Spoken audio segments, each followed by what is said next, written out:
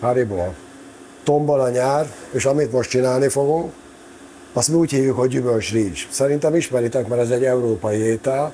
Meg fogjuk főzni a rizst félig vízbe, aztán rakunk hozzá kókusztejszínt, és aztán pedig a végén erdélyi gyümölcsel fogjuk ízesíteni, és ezt hidegen kell fogyasztani, legalábbis úgy finom. Úgyhogy elkezdjük. Két deci rizs, és akkor öntjük fel vízzel. Látjátok, direkt ilyen lapos fazékba csinálom, azért, hogy hamar kihűljön. Mert először fel kell melegíteni. Egy, ebbe szoktunk rakni, tehát indiai édességekben nem, de ebbe szoktunk egy csipes sót rakni. Keveset. A magyar édességek valahogy nekem nagymamám mindig így tanított, hogy akkor lesz finom, hogyha van benne egy csipetnyi só is. Úgyhogy ezt így fogom csinálni. Akkor csináljuk a gyümölcsrizsünket. Itt láthatjátok, hogy most már félig megfőtt a rizs. Ez nagyon fontos, hogy vízbe csak félig főjön meg, mert utána akkor ugye belerakjuk ezt a kókusztejet, ami már így át van dolgozva. Kókusztej, én mutatom a dobozát, amit használunk. Ezt nem én szoktam csinálni, megvesszük a gyárit. Ugye alkohol, ez nagyon finom egyébként, nagyon jó minőségű. Én szerintem elég drága is, de viszont ez ebből jó. És akkor itt már előre kikevertünk egy adagot belőle, és amikor még van egy kis víz rajta, akkor ezt gyorsan rárakjuk. Így, sőt, ki is fogjuk öblíteni vízzel.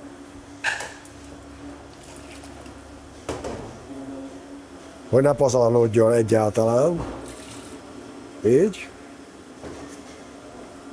És akkor tovább főzzük. Tehát most már ezzel a kis kókusz tejszínnel, akkor tovább főzzük, ameddig át nem, meg nem puhul ez a rizs. Meg nem nő és meg nem puhul. Cukrozni véletlenül se cukrozzátok, mert meg fog keményedni. Ez nem olyan, mint a sweet rice, ugye olyat is csinálunk. Érdekes módon ott nem keményedik meg a rizs, pedig van benne cukor, de itt megkeményedne. Úgyhogy ezt meg kell készlet csinálni, és a végén cukrozni. Jó, látjátok, ilyen állaga van. Majd 10 perc múlva visszatérünk. Benne vagyunk a gyümölcsésbe, majdnem kész van. Nézzétek csak meg, ilyen, ilyen az állaga, ilyen kell, hogy legyen. Hát valamennyire egybe kell, hogy maradjanak a rizsek, mert új gusztusos, és akkor most elzárjuk. Tehát ilyenkor már nem kell tovább forralni, és most rakjuk bele a cukrot. Ebbe körülbelül egy olyan 20 a cukor szükséges, és most már elkevergethetjük. Ilyenkor már nem lesz ropogós a rizs, mert már nagyon megpuhult.